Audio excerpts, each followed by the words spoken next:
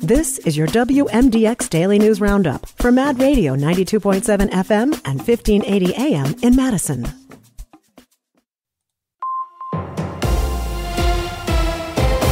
Civic Media News. I'm Terry Bell. Here's what Wisconsin needs to know. Now that Super Tuesday is over, the presidential candidates are shifting focus to Wisconsin in the general election. Vice President Kamala Harris is in Wisconsin today. Harris and Labor Secretary Julie Su are in Madison talking about workers' rights, union jobs, and the economy.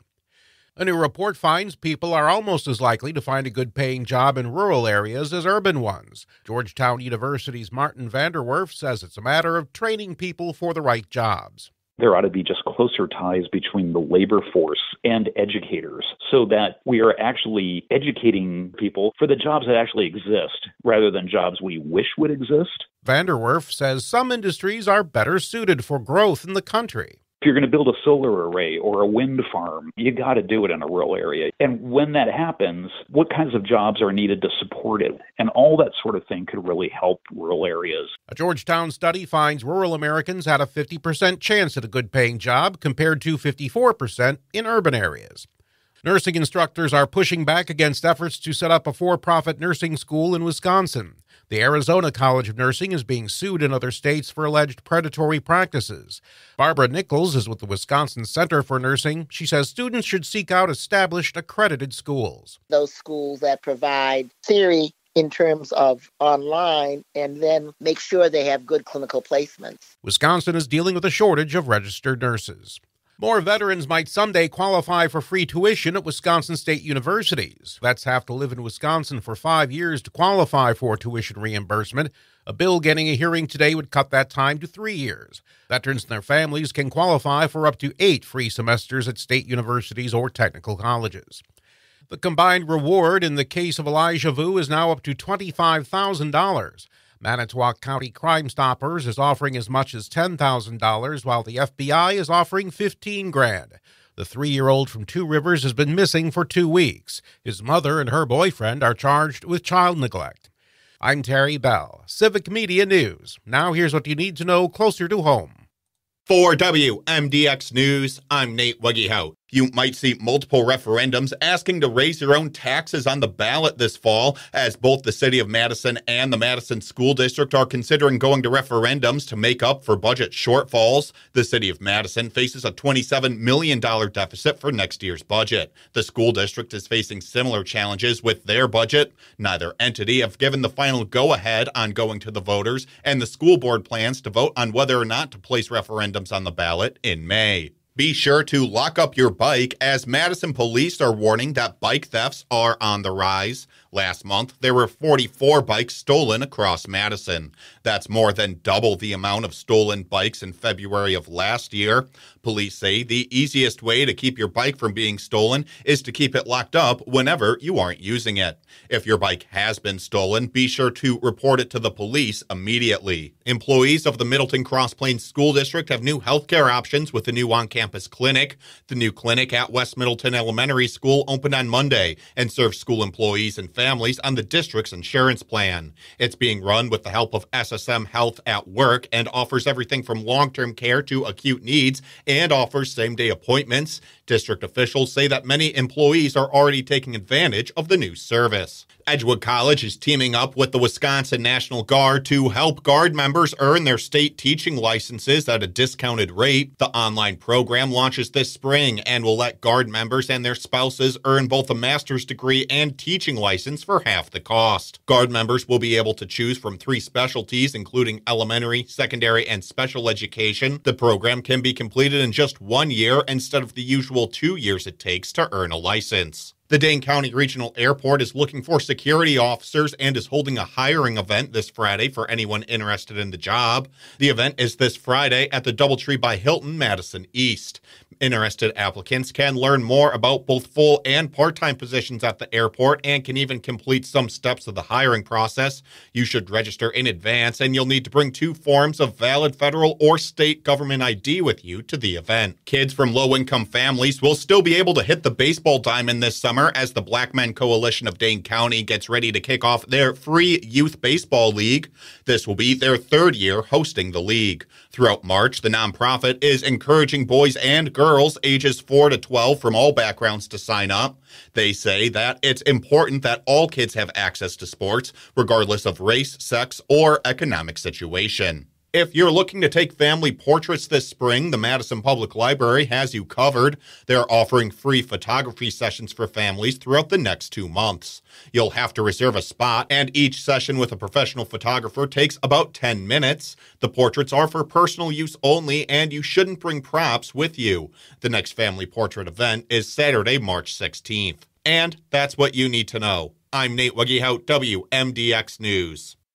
Sunny this morning. We will see a few more clouds rolling in by later this afternoon, but still a nice day with a high right around 50 today. The wind out of the east at 5 to 15. Tonight, mostly cloudy 33. Tomorrow, we'll see a little sun, but overall mostly cloudy 51 with rain likely tomorrow night and Friday. I'm meteorologist Sean Cable. Outside now, it's 33.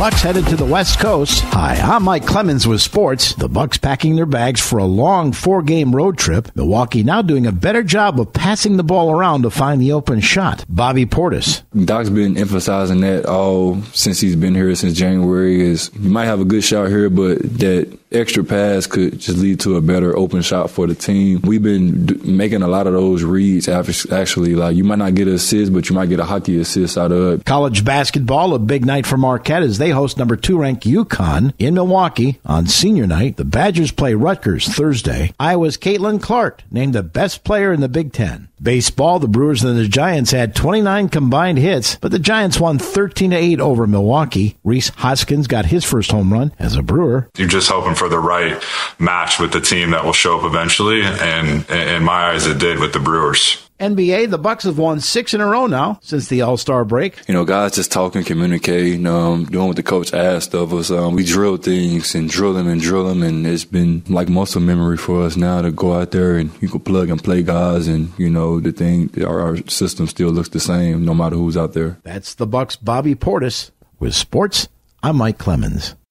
I'm Pete with the 60 second Showbiz Beat. If you can't get enough of the NCIS conglomerate, this will make you happy. Deadline.com reports that NCIS Origins, yes, it's a prequel, was given the straight to series greenlight. Austin Stowell will play a young Gibbs on the new CBS show. The more familiar Gibbs, Mark Harmon, will provide narration to the series, which will be set in 1991. Origins is one of the two new shows rolling out from the NCIS ever growing franchise. discussing that this might have to be the last NCIS because thanks to the military court franchise, we are running out of actors. Up for some more real TV housewives? Me neither. That's not going to stop Bravo from rolling out season two of The Real TV Housewives Dubai. For those of you who had no idea there was even a season one, Bravo has announced season two will air in June of this year. The Real Housewives have had dozens of spin offs locally and internationally. Personally, I refuse to watch until Wisconsin is represented. Who wouldn't want to watch The Real Housewives of Oconomowoc?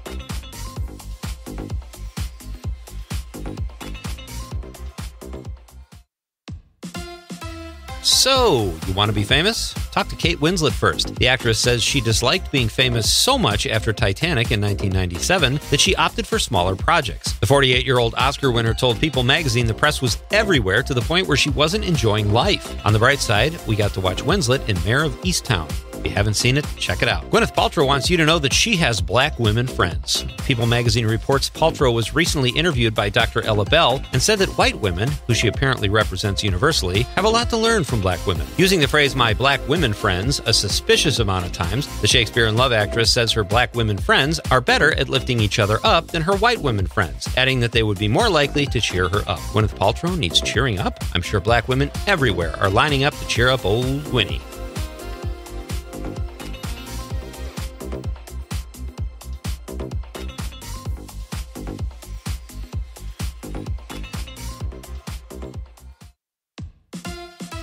Ready for more award show news? I thought so. The NAACP has announced Queen Latifah will take the mic again this year and host the 55th Annual Image Awards. Star of The Equalizer hosted last year's event as well. Latifah is no stranger to awards, having taken home a Grammy and an Emmy in her career. She was also Oscar nominated for her supporting role in the movie Chicago. The Image Awards will be held March 16th and will air on both BET and CBS. If you haven't been called about being a presenter at this year's Oscars, you might be the only one. The Hollywood Reporter says Ryan Gosling and Ariana Grande have been chosen as the final presenters for this year's Academy Awards, rounding out a very long list. Steven Spielberg, Emily Blunt, and Forest Whitaker were also announced recently to hand out awards at this year's event. I've heard of that Spielberg guy. He's really starting to hit his stride as a director. For more showbiz fun, tune in to Nightlight with me, Pete Schwaba, every night between 7 and 9 p.m. on the Civic Media Radio Network.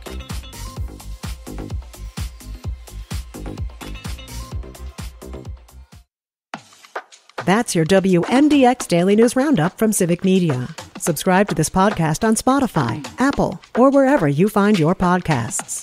Find more news at mad.radio.